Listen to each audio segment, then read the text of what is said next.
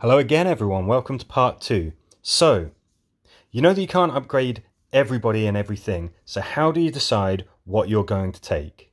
Well, first of all, you're going to look at the class. You're going to know what class of survivors you use more frequently than others. I know, for example, that I like to do Guild Wars, and a class that is absolutely essential in survivor versus survivor battles are shooters. So I know that I'm going to want sort of an A team of shooters and I'm going to want some reserves because I use them a lot. Same with hunters. However, for every class that you've got, I recommend having at least two of each uh, upgraded. Even if you don't tend to use, say, warriors or bruisers that often, you might find that they can be useful in certain situations. If there's a problem that you can't deal with, swap out the class, try something different. You never know, it might surprise you. I've definitely found bruisers warriors and scouts very useful when I am tackling uh, enemies that sort of 8, 9, 10 levels above my guys. Bruisers take damage. My warriors are equipped with a chainsaw and have certain skills that are very useful. So don't neglect any of your classes. For each class, I suggest having one civvy. So this is a non-character from the show. The reason for this is because generic class tokens are much easier to come across than specific hero ones, and they can be used on anyone. So it becomes very easy to upgrade your traits and upgrade your star level.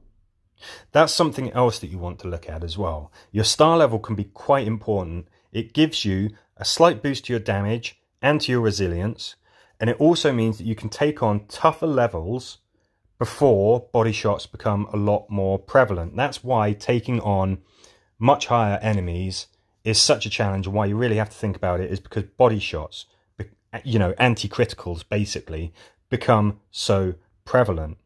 So when you're selecting who to take, I suggest, let's say if you like shooters, have four of them. Have four of them ready because I'm probably going to take two on each mission if it's Guild Wars and, and most of the challenge missions, they're going to get injured. And I might want to keep on going. It's no good just having a trio of survivors who you always use upgraded while everyone else is, you know, significantly lower. Because, well, what happens if you have a misclick or you just happen to get injured? You're going to be booted out of the game. So I, I would suggest having four of your two favorite classes available and at least two of every other class. Again, you don't know when they're going to come in. You want to be looking at traits.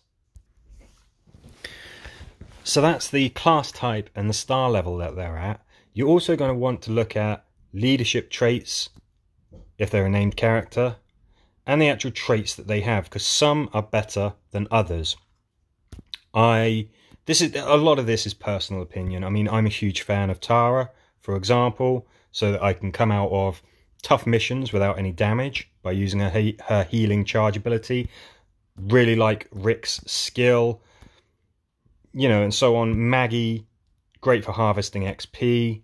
Glenn, great for uh, gaining supplies, which are hard to come by. But you're going to basically be able to know who you want um, to take with you based on that.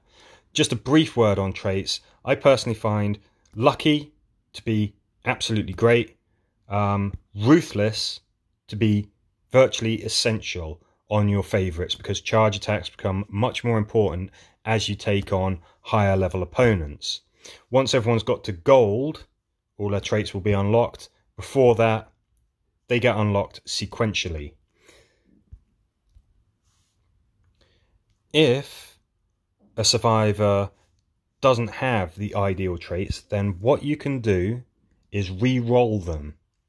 So this means that you use a certain number of re-roll tokens plus a number of character tokens, and then you can replace an undesirable trait with a choice of one of two that the game gives you. This is very useful because some traits like say bullet dodge, they are so circumstantial that they're virtually useless. I might well want to replace bullet dodge with something more useful like ruthless. Reroll tokens are hard to come by, so you're going to want to think carefully about who you use and what traits you might want to replace. So that's the survivors. Consider their traits, consider, consider their star level, consider their class, and decide who you're going to want to take to the next level. Now, gear. This is similar in a lot of ways. You um, can unlock traits similar to the way that uh, hero tokens do, but this time you just use pure XP. You can't upgrade every single weapon, but you're going to know what you like as long as it's gold. As long as your gear is gold, weapons or armor, it's probably going to be enough. If it has maybe just one or two undesirable traits, then I suggest buying another piece of gold gear of that type from the trade shop or elsewhere. However, don't get too hooked up on trying to get the perfect gear. As long as it's gold and it's fully upgraded, it should be good. Traits that you're going to want to look for are Ruthless, Stun Resistance is, is very useful. Um, where is it? Fireproof is especially good. But also have a think about who your equipment is equipped on. If we look at armor, things like fireproof, so that you have fewer body shots, stun resistant and dodge, that kind of thing is going to be great on a bruiser. On a damage dealer, you're going to want things like ruthless, uh, maybe dodge because you're going to find yourself in close combat quite often. So think about those kinds of things. Now, you can upgrade your equipment to three levels above your survivor level. So my survivor is level 25. You can see this gear is level 28. As you upgrade it, you unlock traits, which can be very useful. Something else which is worth noting, look at the level of this butterfly knife, level 18 plus 10. I've upgraded it 10 times using upgrade tokens. These are reinforcement tokens, sorry. These are a little hard to come by, but absolutely invaluable. It means that if you have a piece of equipment that you particularly like, you don't have to abandon it as soon as you have leveled up a couple of times. You can keep it with you. It also makes upgrading these weapons very quick. Instead of upgrading it from scratch and having to unlock the traits one at a time and getting it up to three levels above your survivor, all you do is you upgrade it once using the XP and using the reinforcement tokens, and that is a much, much quicker way of doing it. All of the traits are unlocked. So I strongly recommend that during the game, whenever you can get reinforcement tokens, you use that on a favorite piece of armor that you have or a favorite weapon and you keep that with you. I, for example, have left behind Festive Lucille, this wonderful bruiser weapon, but I might well use my reinforcement tokens on Morgan's staff, you know, or the Spiked Kingdom shield, just because they are so great. Again, you can't upgrade everything, but I recommend having at least two weapons for each class because you never know when you're going to rely on them.